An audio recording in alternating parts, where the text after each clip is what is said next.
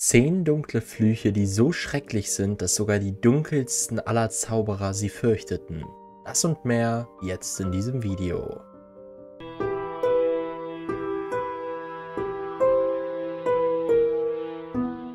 Im heutigen Video werden wir über Flüche sprechen.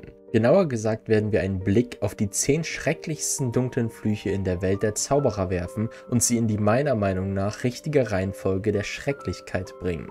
Aber das Wichtigste zuerst, was ist eigentlich ein Fluch? Und wie unterscheidet sich ein Fluch von einem normalen Zauber oder einer normalen Verhexung? Beginnen wir mit dem Anwendungszweck. Ein normaler Zauber wird normalerweise für positive oder neutrale Zwecke eingesetzt. Zauberer nutzen sie, um Alltagsprobleme zu lösen, wie beispielsweise das Reinigen von Räumen oder das Reparieren von Gegenständen. Flüche hingegen werden oft als Waffen eingesetzt, um Schaden zuzufügen, Schmerz zu verursachen oder andere negative Auswirkungen zu erzielen. Ein normaler Zauber hat in der Regel eine spezifische Wirkung, die auf einen bestimmten Zweck abzielt. Er kann beispielsweise ein Objekt schweben lassen oder Licht erzeugen. Flüche hingegen haben oft schwerwiegendere und destruktivere Auswirkungen. Sie können verletzen, den Tod oder physische oder psychische Qualen verursachen. Kommen wir zur Ethik und Moral. Während Zauberer normalerweise Zauber verwenden, um das Gute zu fördern, sind Flüche in der Regel mit negativen Absichten und bösen Taten verbunden. Viele Flüche sind in der magischen Welt verboten und gelten als dunkle Magie. Der Einsatz von Flüchen wird oft als moralisch verwerflich angesehen, da sie das Leiden anderer verursachen. Kontrolle und Konsequenzen. Ein normaler Zauber kann relativ leicht kontrolliert und gezielt eingesetzt werden.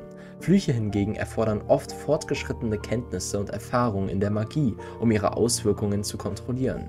Darüber hinaus können die Anwendung von Flüchen und der Missbrauch dunkler Magie schwere Konsequenzen nach sich ziehen, sowohl rechtlich als auch moralisch. Beginnen wir nun mit dem ersten Fluch. Beginnen wir mit einem Fluch, den jeder von uns kennt, der Avada Kedavra Fluch. Der Avada Kedavra Fluch ist einer der bekanntesten und gefürchtetsten Flüche in der Harry Potter Welt. Es handelt sich um den Todesfluch, der verwendet wird, um sein Opfer sofort zu töten. Es ist einer der drei unverzeihlichen Flüche, was bedeutet, dass sein Einsatz strengstens verboten ist und er schwere Konsequenzen nach sich zieht. Der Avada Kedavra Fluch hat eine unmittelbare und tödliche Wirkung. Wenn der Fluch erfolgreich angewendet wird, stirbt das Opfer sofort, ohne Schmerzen zu empfinden. Es hinterlässt keine sichtbaren Verletzungen oder Spuren und scheint, als ob das Opfer friedlich einschläft. Der Fluch erfordert eine bestimmte emotionale und willentliche Haltung des Zauberers. Er muss den Fluch mit dem klaren Vorsatz aussprechen, sein Opfer zu töten und darf keinen Zweifel oder Reue empfinden.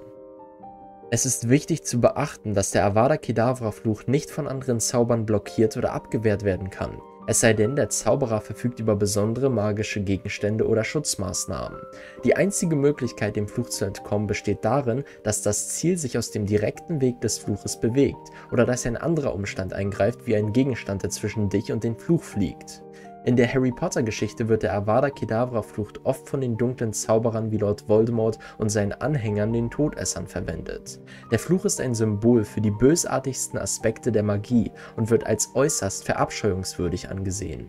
Der Avada Kedavra Fluch steht für die dunkelsten und gefährlichsten Aspekte der Magie und sollte niemals angewendet werden. Der nächste Fluch, dem wir uns widmen, ist Crucio. Der Cruciatus-Fluch, auch bekannt als der Cruciatus-Zauber, ist ein äußerst grausamer und quälender Fluch aus der Harry Potter-Welt. Er gehört zu den drei unverzeihlichen Flüchen, was bedeutet, dass sein Einsatz strengstens verboten ist und schwere Konsequenzen nach sich zieht.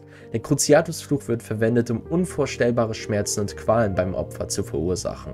Wenn der Fluch erfolgreich angewendet wird, erleidet das Opfer extreme körperliche und geistige Qualen, die es an den Rand des Wahnsinns treiben können. Der Fluch hat keine physischen Auswirkungen, sondern zielt darauf ab, das Opfer mit reinem Schmerz zu überwältigen und zu foltern. Es ist ein sadistischer Fluch, der dazu dient, dem Opfer unermessliche Qualen zuzufügen und es zu brechen. Der Cruciatus-Fluch erfordert einen starken und willentlichen Einsatz der magischen Energie. Der Zauberer muss den Fluch mit bösen Absichten und einer gewissen Genugtuung anwenden, um die gewünschte Wirkung zu erzielen. In der Harry Potter Geschichte wurde der Cruciatus-Fluch von dunklen Zauberern wie Bellatrix Lestrange und anderen Todessern verwendet, um ihre Gegner zu quälen und zu terrorisieren.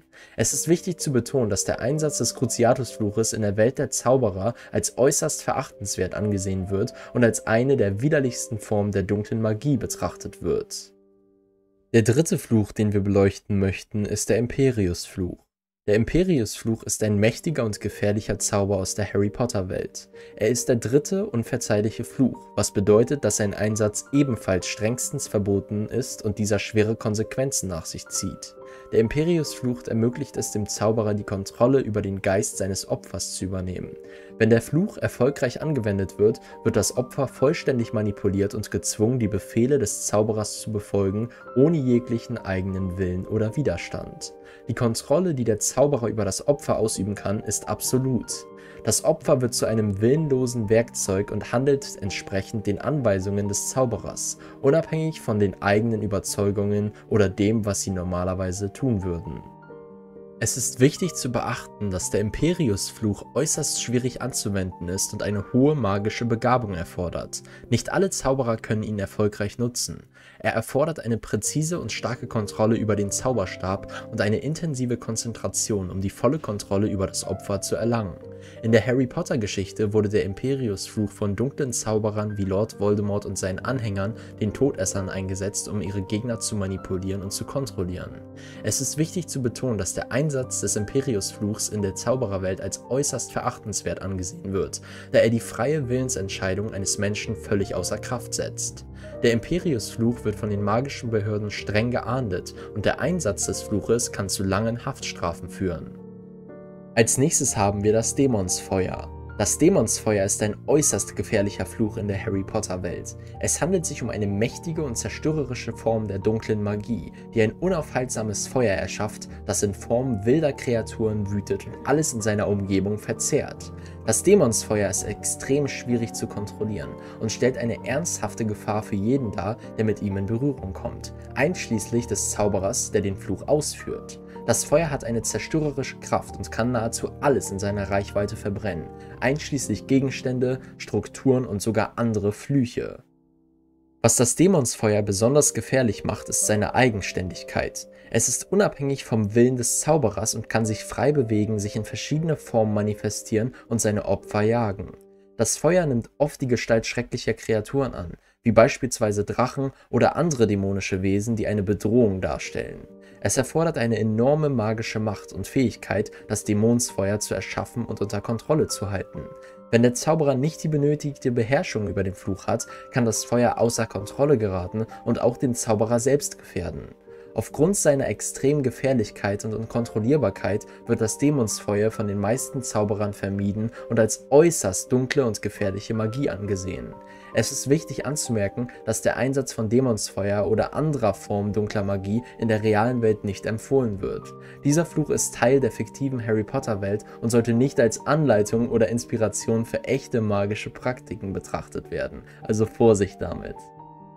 Als nächstes haben wir Sectum Sempra. Der Sectum Sempra Fluch ist ein weiterer mächtiger und gefährlicher Fluch. Er verursacht tiefe und blutige Schnitte auf dem Körper des Opfers. Dieser Fluch wurde von Severus Snape entwickelt und zeigt, wie selbst angesehene Zauberer in Versuchung geraten können, mächtige und gefährliche Magie zu nutzen. Als nächstes haben wir Aviforce. Der Aviforce-Fluch ist ein Zauber, der in der Welt der Zauberei verwendet wird, um Gegenstände in Vögel zu verwandeln. Ja, du hast richtig gehört. Wenn ein Zauberer den Aviforce-Fluch auf ein Objekt anwendet und erfolgreich ist, nimmt dieses Objekt die Gestalt eines Vogels an. Es ist wichtig zu beachten, dass der Aviforce-Fluch in erster Linie dazu dient, eine Verwandlung herbeizuführen und den Gegenstand in eine andere Form zu bringen. Es handelt sich nicht um einen Angriffsfluch oder einen Fluch mit schädlichen Absichten. Er wird oft für praktische Zwecke eingesetzt, wie zum Beispiel um einen Gegenstand leichter transportieren zu können oder um kreative Lösungen für bestimmte Situationen zu finden. Es erfordert jedoch eine gewisse Beherrschung und Zauberkunst, um den Aviforce-Fluch korrekt anzuwenden. Als nächstes haben wir Morse Mord. Mit dem Zauberspruch Morse Mord wird das dunkle Mal am Himmel heraufbeschworen. Weithin sichtbar ist dann das schwarzmagische Symbol, der unheimliche grün leuchtende Totenkopf, aus dessen Mund eine Schlange kommt. Weil dieses Symbol immer an die Anwesenheit und die Taten schwarzer Magier hinweist, handelt es sich um einen schwarzmagischen Zauber, der nur von Todessern oder anderen Anhänger der schwarzen Magie genutzt wird. Schon der Ausdruck Morse Mord verrät den unheilvollen Charakter des Zaubers und dass Todesser ihn gebrauchen. Als nächstes haben wir den Tabufluch. Der Tabufluch ist ein weiterer furchterregender Zauber. Sobald dieser Fluch ausgesprochen wird, ortet er denjenigen, der den Namen von Lord Voldemort ausspricht. Das zieht die unmittelbare Aufmerksamkeit der Todesser auf sich und kann verheerende Konsequenzen haben. Dieser Fluch ist ein weiteres Beispiel für die Überwachung und Kontrolle der dunklen Seite der Magie. Als nächstes haben wir den Dementorenkuss. Der Kuss eines Dementors ist kein Fluch im eigentlichen Sinne, sondern eine schreckliche Strafe. Wenn ein Dementor sein Opfer küsst, saugt er ihm die Seele aus dem Körper und hinterlässt eine leblose Hülle zurück. Dies ist eine der gruseligsten Bestrafungen in der Welt der Zauberei und wird oft bei besonders gefährlichen Kriminellen angewandt. Als nächstes haben wir Obliviate. Zuletzt haben wir den Obliviate-Fluch. Dieser Fluch ermöglicht es einem Zauberer, die Erinnerungen einer Person zu löschen oder zu manipulieren. Er wird oft von Mitgliedern des Zaubereiministeriums verwendet, um die Existenz der magischen Welt vor Muggeln zu verbergen. Aber der Missbrauch dieses Fluches kann fatale Auswirkungen haben und die Identität einer Person für immer verändern. Ein Beispiel für den Gebrauch sehen wir bei Gilderoy Lockhart, der sich seine gesamte Geschichte erschlichen und ergaunert hat. Ich weiß, dass viele von den Zaubern und Flüchen, die ich genannt habe, als schrecklich als auch als nicht schrecklich angesehen werden könnten. Ich denke, viele dieser Zauber haben ihre eigene Form von Schrecklichkeit und deshalb habe ich sie so angeordnet, wie ich sie für richtig halte. Und damit sind wir am Ende unserer Reise durch einige der schrecklichsten Flüche aus Harry Potter angelangt. Diese dunklen und gefährlichen Kräfte zeigen uns, dass Magie nicht immer etwas Gutes bedeutet. Die Wahl, wie man diese Macht nutzt, liegt letztendlich bei jedem einzelnen Zauberer selbst. Wenn ich einen Fluch vergessen habe, der unbedingt auf der Liste stehen sollte, schreibt es mir gerne in die Kommentare. Vielen Dank für eure Aufmerksamkeit und bis zum nächsten Mal bei Harry Potter Wissen.